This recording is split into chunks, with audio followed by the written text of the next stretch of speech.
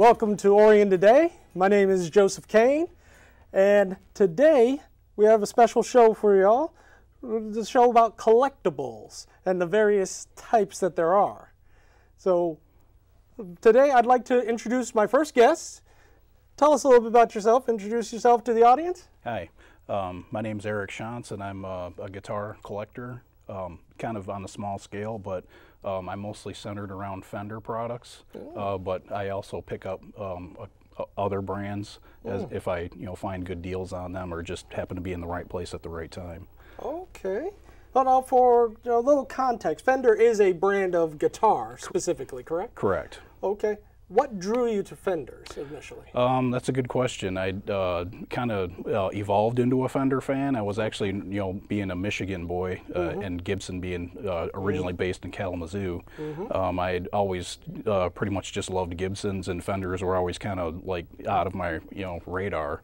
But uh, for some reason, the older I got, the more I realized the guitar that I was actually playing at the time was uh, more of a Stratocaster shape and um, uh, more similar to a Strat. And uh, once I started uh, getting interested in Stratocasters, I just sort of gravitated in that direction and just Okay. uh, continued on that path. Well, honestly, collecting is one of those hobbies that you'd say that evolves over time as you evolve. Exactly. So, considering that, then, what do you have for us to show off today? Um, well, I just kind of wanted to go over the uh, different um, avenues that you have to collect, Oh, and okay. um, because uh, not everybody has a big budget, Oh, yeah. uh, but they might still have some interest. So there are um, you know multiple avenues to uh, start a collection, Okay. and the main three would be um, guitar effects pedals, Oh, okay. amplifiers, and then the guitars themselves. Oh, okay. So not just the guitar, but also the like uh, a- accessories, one might say, that help to help them do what they do. Right. All right. So what do we have here today? Okay, so um, I'll start with the pedals, and um, I just kind of wanted to uh, show the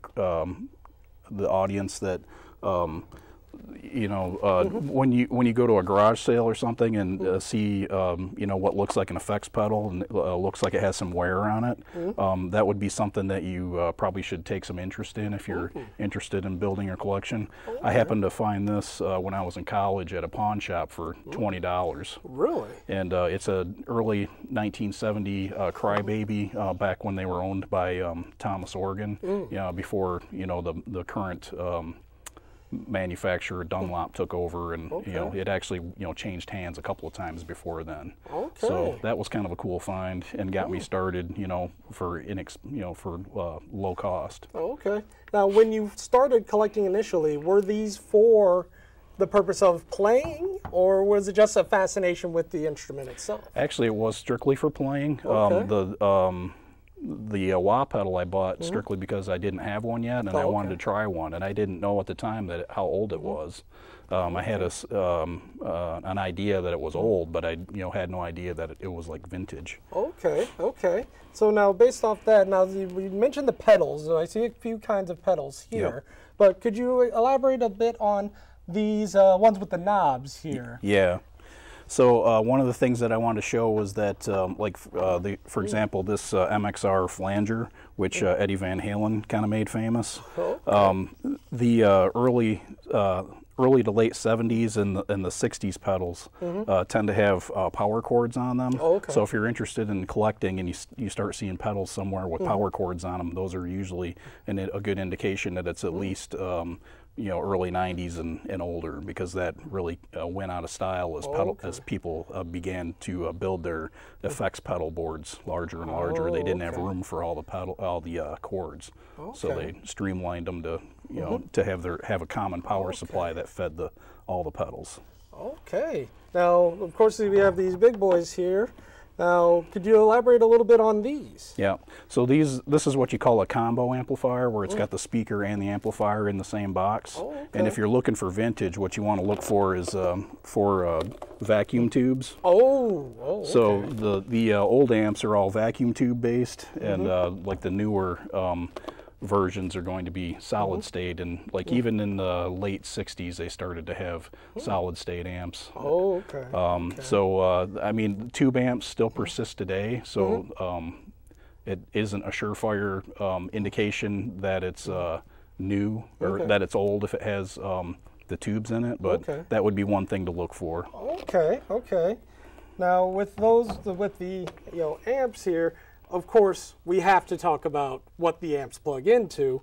So now you brought uh, quite a quite a, an array of different guitars here. Right. Now, could you tell us a little bit about like how like how do you decide what guitar to go for? Is it purely a um, aesthetic thing, or do you go more for functionality? Um, it can be both. Um, for example, uh, this guitar was uh, is um, a modern uh, reproduction of Mm-hmm. the guitar that um, Ooh, it does look it does look familiar. yeah. It's pretty Jim, famous. yeah, Jimi Jim- Hendrix. Ji- this was Jimi Hendrix's first guitar, and these were very common, uh, sold in the Sears catalog under the Dan Oh, Electro wow. name and the Silvertone name. Oh wow. So the, uh, Jimi Hendrix's first guitar was one that looked almost just like, exactly like this, a different color. oh okay. Um, and like the, these modern reproductions can be had for about four hundred dollars new. okay. Okay. So it's not so collecting isn't necessarily about uh, you know the vintage. Uh, You know there's there's actual vintage and then there's modern reproduction vintage, which gives you the uh, you know the pride of ownership of having something mm-hmm. that's you know from that era, but without you know the price tag of a, the true mm. vintage piece. Oh, now that, I'm sure that really would help out a lot.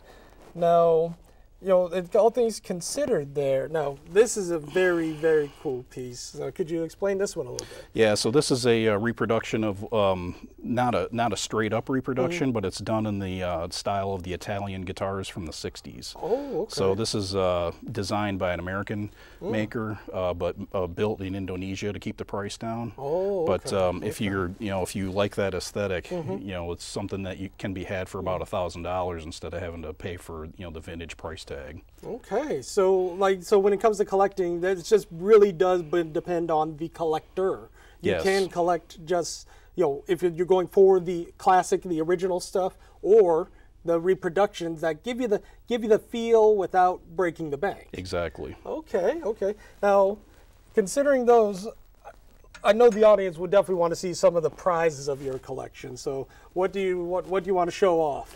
Um, well, he- here's a good example. This is a uh, Fender Custom Shop guitar Oh. that um, is a reproduction of a 1961 Stratocaster. Oh, okay. And uh, this is as close as you can get to having a real 1961 Strat without having Oh, to, wow. you know, pay the thousands of dollars it would cost you to get one. oh, that is beautiful. So this is uh, a custom shop guitar that was built, you know, by Fender, Mm-hmm. but uh, spec, um, you know, the specifications come from a shop called Wildwood out in Colorado. Okay. So it's gotten to the point now where certain dealers have ideas about you, you know what they think their customers are going to want, and they'll have custom specifications to the custom shop on what exactly they want. Okay.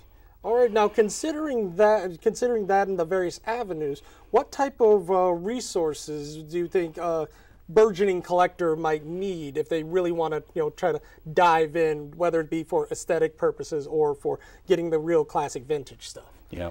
Um, so probably the primary resource is a website called Reverb.com. Reverb.com. yeah, Okay. which is basically eBay for uh, guitar stuff. Oh, okay, okay. but it's guitar centric. Well, there's other music stuff on there too, but it's Okay. but it's basically all music stuff.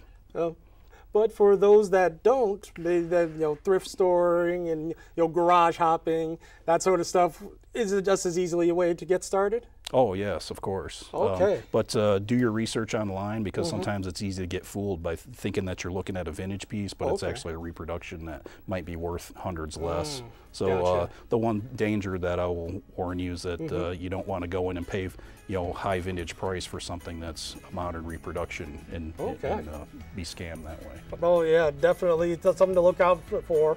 Now, and thank you so much for sharing this with our audience. You're welcome. Nice meeting you. Remember, check. Make sure to check out those uh, those resources, and uh, we'll be right back with our next collector.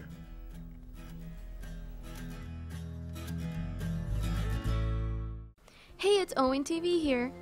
Now, have you ever had the urge to create your own TV show? Or just wanted to see what goes behind the scenes of making one? Well, we have just the program for you. ONTV offers production classes, which allow you to take control and create the programs you want them to be. To get started, all you have to do is sign up for a free orientation and then register for one of our production courses. For more information, feel free to call us at 248 393 1060 or go to orionontv.org and click register now to sign up for classes. We hope to see you soon. And welcome back to Orion Today. I was, I'm your host, Joe Cain.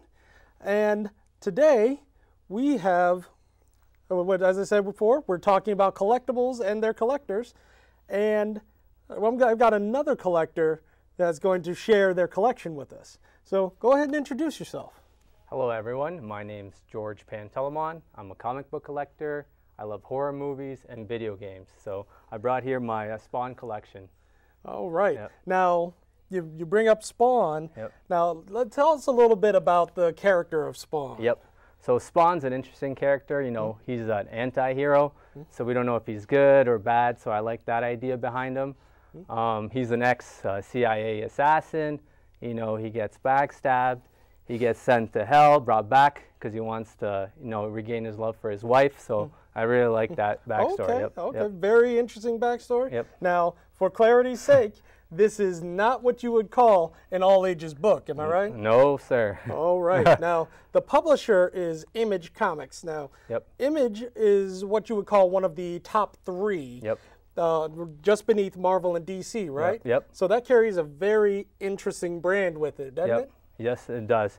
So what I like about Image, it was the, uh, like you said, it was a third one, and it was created by a bunch of artists like Todd McFarlane because they wanted full copyright of their art. Okay. So you know, if you worked for Marvel and stuff like that, you'd have to give a certain percentage. So this was created so all the artists uh, control 100% of the copyright. So I really love that. Honestly, that is Yeah. pretty great, Yep. especially in the world we live in now. Yep. Now, if anyone can see the books that you have here, Yep. say that there there's some very special ones. So Yep. take us through some of the some of your collection. Here. Yep. So let's start off right from the beginning. Right here, we have a spawn number one here. This is uh, CGC 9.8 signed. This has uh, Todd McFarlane signed here. Okay. It also has George Perez. So I like this one. This the first one. Uh, fun fact here: if this were to be uh, a, U- a UPC barcode here, it'd be worth a lot more. So Oh, really? So that's not the original number one. yeah. Okay. Well, honestly, I'd still say a number one counts as a number one. Yep. Okay. Now, with that being the first issue, Yeah. what would you say is probably uh, another fa- favorite issue? Like, obviously, not every number Yep. one is going to be it. Uh, Correct. show us another one. So another one that I love, just quickly here, I really love the artwork here. This is Spawn 77, a little bit later in the series.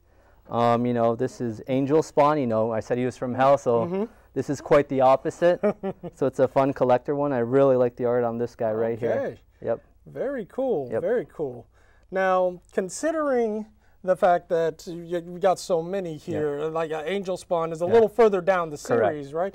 Now, when it comes to collecting, do you have a, any particulars that you look for? Like, are they just your favorite issues, Yep. or do you look for value? Like, How So- do you look? Uh, personally, I would like to collect all the first 10 signed.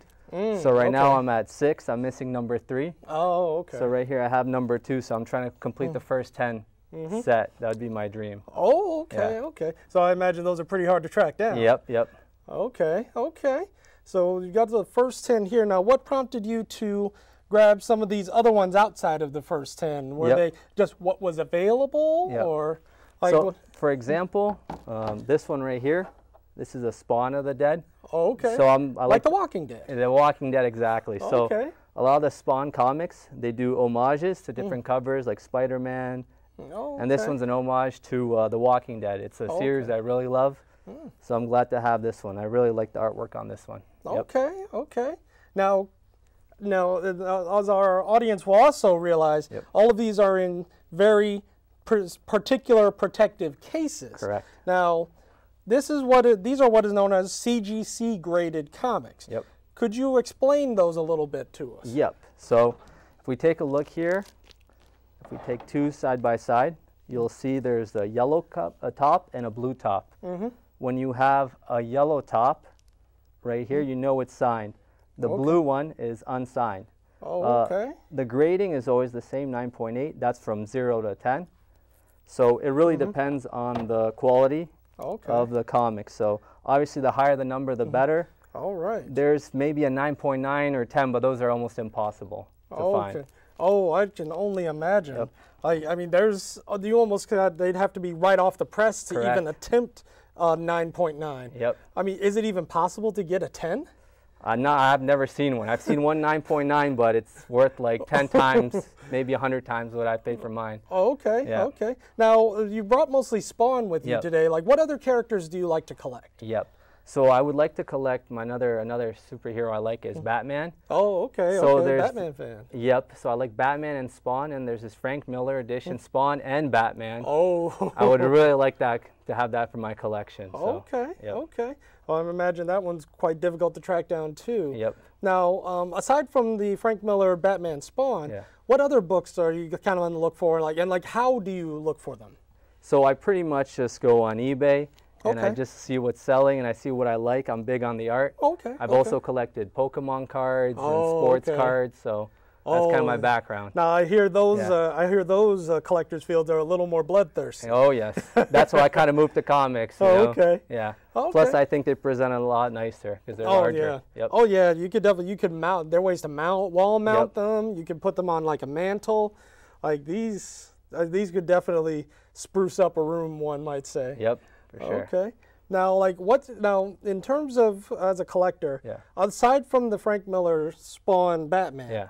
What's a what's one that's on like the on next on your wish list? Like, what Yeah. are you currently looking for? So uh, there's one spawn I really want. It's technically even before this one, the Mm. Oh. original. It's a Malibu Sun. It's like Oh, It's a very rare. Okay. Mm-hmm. The cover's not that nice, but it's technically the first one. So that's my dream comic. I would love to get that one. Well, uh, happy hunting in that regard. Thank you Thank so you. much for showing us your collection. Yep. And that's it for this segment. But stay tuned because we'll be right back.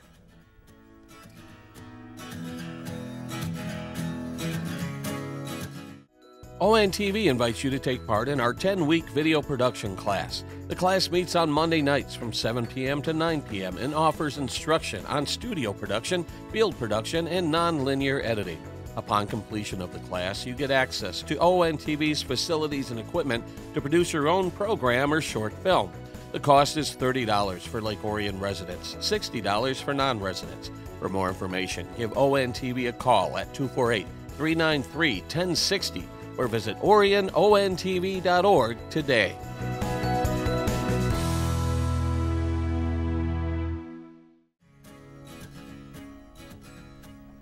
And welcome back to Orion Today. I'm your host, Joe Cain.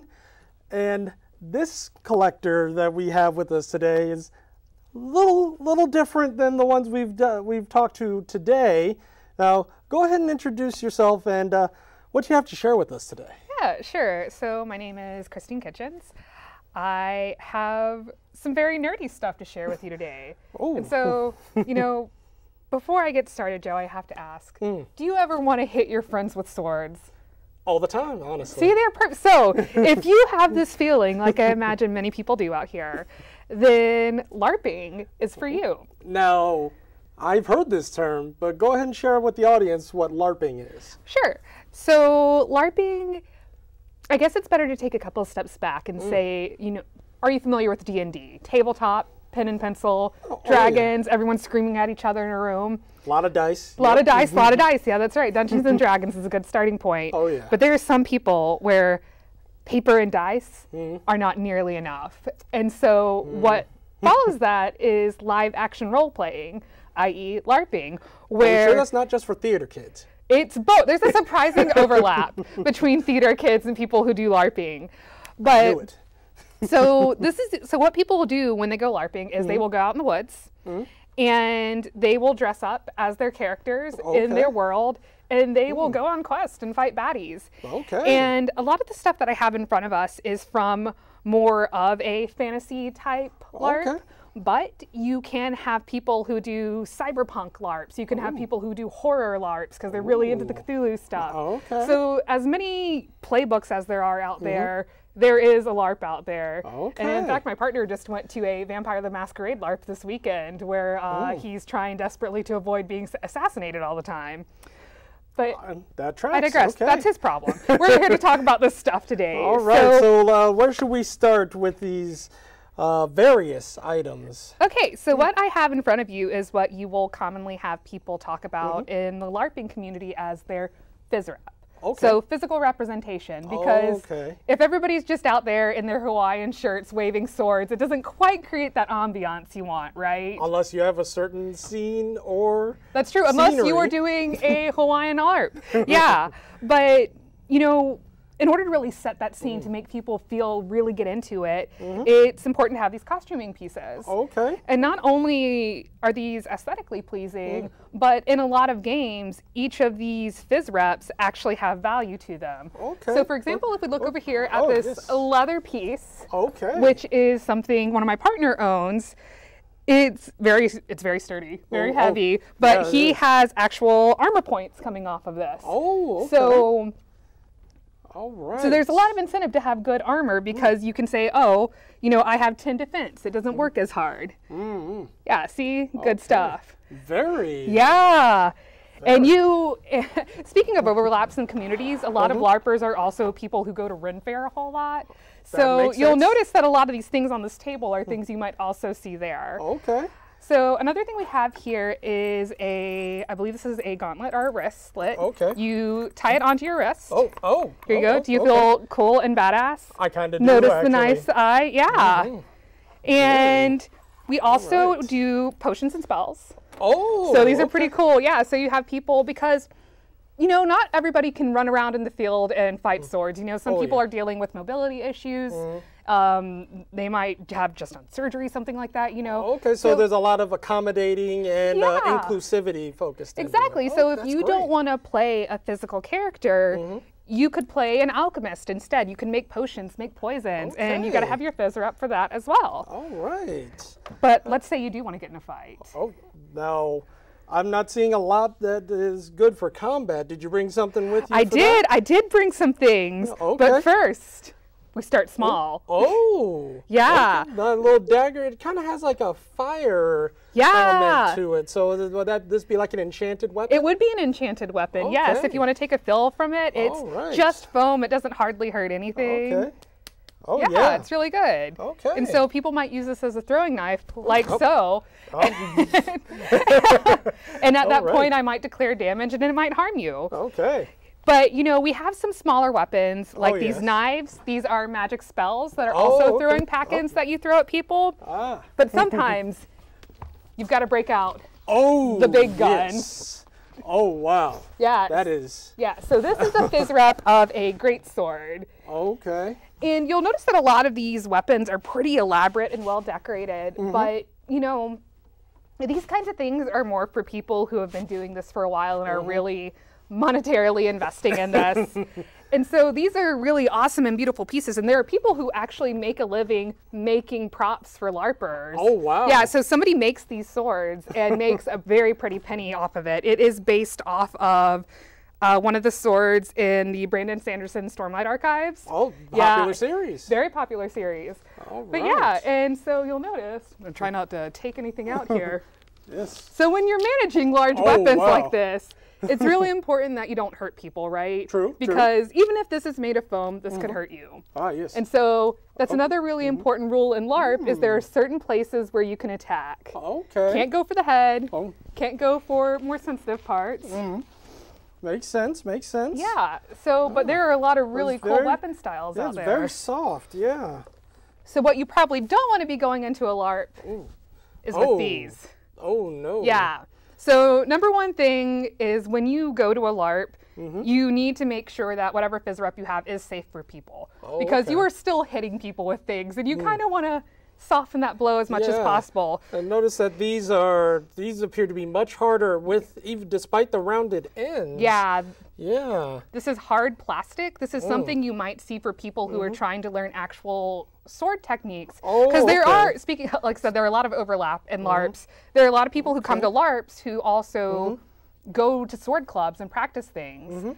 And so you got to remember that if you are one of those people that you Mm-hmm. Okay. Mm-hmm. can't just show up with this stuff, you gotta You got to put a foam noodle on it. You got to make it soft. Okay, but this, but so this would be something to actually used for actual martial arts training. Yeah. So this is definitely a no-no. That is for- definitely a no-no. Okay. But there are some LARPs that go, do go harder than others. So That makes sense. Mm. Yeah. So for example, in Southeast Michigan, there are quite a few LARPs actually. Okay. There is CARPS, which is a soft, soft touch LARP. That's where they Mm. have some pretty strict rules around what you can fight with and what you can't. Okay. And then there's, um, I'm trying to remember what the other one is. It's called Kanar. And they are a little more feisty. Oh. So they will, I think, allow head hits or something like that. Oh, so no. it's really important that So- Uh-huh. if you are interested in this, that you do your research and you know what you're going into. So whether or not you're into a contact sport, as it were, or maybe Right. just a little more casual, a little some more softbally. Exactly. say. So yeah, there's a lot of options that usually meet over the weekend once a month. there are also okay. options out there where they meet for whole weeks, Oh, such wow. as uh, I'm trying to remember what it's called. There's one up in con- in um, Canada that is a really big deal. Oh, Where you can go do this for a whole week in a whole made-up village, and it's very serious. Oh, I envy people of those resources. Wow. But there are probably people that look forward to these sorts of things all year round, one might say.